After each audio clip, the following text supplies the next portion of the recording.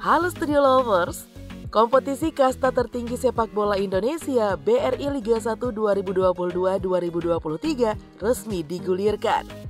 Pembukaan kompetisi ini dilakukan oleh Ketua Umum PSSI Muhammad Iriawan dan Wakil Direktur Utama BRI Catur Budi Harto di Stadion Kapten Iwayan Dipta Sabtu 23 Juli lalu. Nah, Studio Lovers menariknya lagi nih kompetisi kasta tertinggi sepak bola Indonesia yakni BRI Liga 1 selalu didominasi oleh tim-tim dari Pulau Jawa. Musim yang telah bergulir ini Studio Lovers sebanyak 14 tim dari Pulau Jawa Bali dengan persentase 85% yakni Persija, Bayangkara FC, Persita, Rans Nusantara, Dewa United, Persikabo, Persib Bandung, PSIS Semarang, PSS Sleman, Persebaya, Persi Kediri, Arema, Persis Surakarta, dan Madura United. Sementara itu empat lainnya berasal dari Bali, Bali United, Sulawesi, PSM Makassar, dan dua dari Pulau Kalimantan, Borneo FC dan Barito Putra.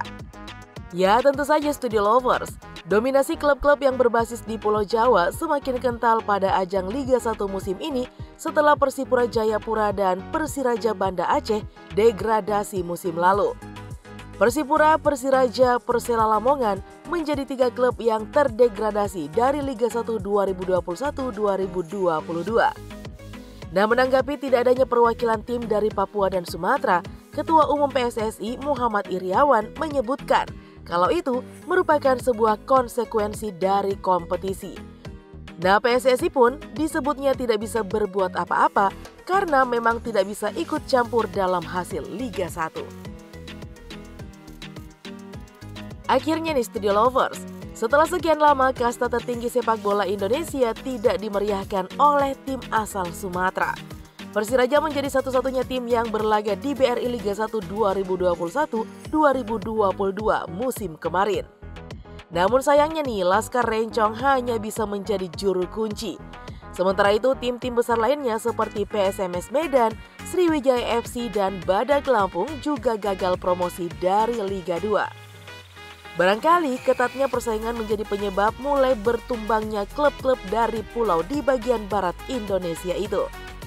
Melihat dari kasus-kasus tersebut, penyebab yang lain juga klub-klub Sumatera kesulitan bersaing diyakini minimnya pemain bintang yang mampu didatangkan.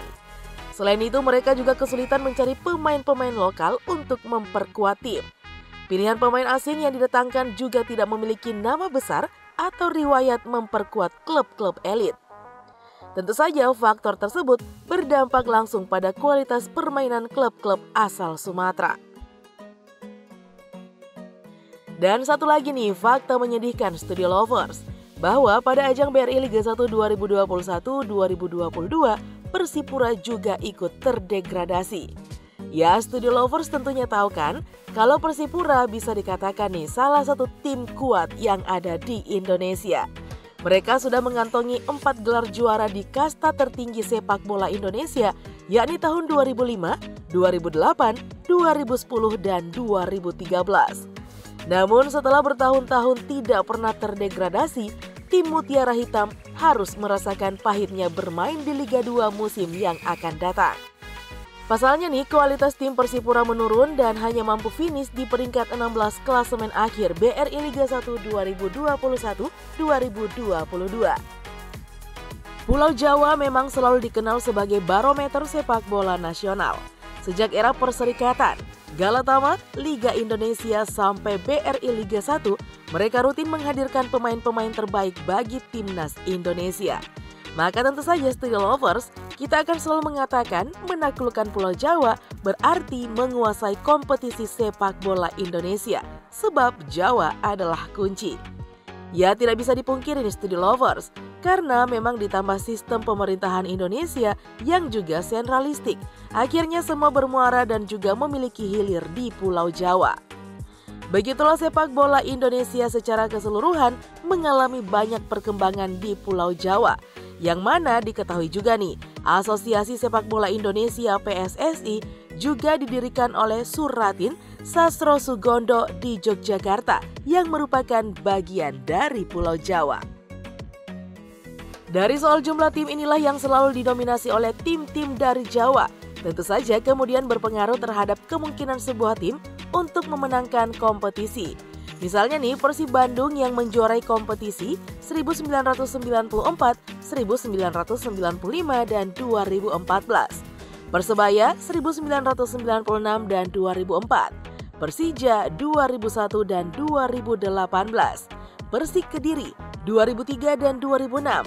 Dan selebihnya ada Arema di tahun 2009, Bayangkara 2017, dan Sriwijaya 2007 dan 2011. Meskipun Persipura Jayapura menjadi yang terbanyak dengan juara empat kali sejak era Liga Indonesia itu, masih belum bisa mengalahkan dominasi tim-tim dari Jawa. Apalagi nih musim ini, Persipura terdegradasi ke Liga 2 Studio Lovers. Nah, Studio Lovers, begitulah bagaimana kompetisi Liga 1 bergulir dan selalu didominasi oleh tim dari Pulau Jawa yang selalu dikatakan sebagai superior kasta tertinggi Liga 1 Indonesia. Dan sebagai akhir dari video kita kali ini, Studio Lover seperti biasa ya, jangan lupa untuk terus mendukung kami dengan cara menekan tombol subscribe, like, komen, dan share video ini. Sampai jumpa lagi di video-video berikutnya. Bye-bye.